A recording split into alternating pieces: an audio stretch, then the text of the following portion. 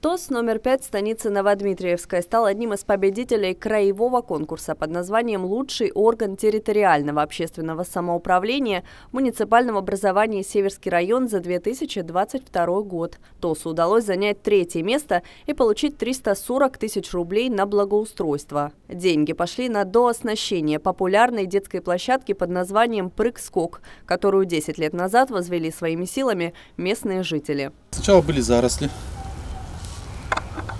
Потом соседями собрались, с родственниками, соседями, жителями, вычистили все. Поехали в лес, привезли бревна, сделали для деток хоть что-то. Администрация увидела, что шевелимся, предоставила небольшие качели. Но все равно приятно установили тоже, играют детки хорошо, красиво. И потом решили поучаствовать в ТОС. Первый раз выставились и заняли третье место.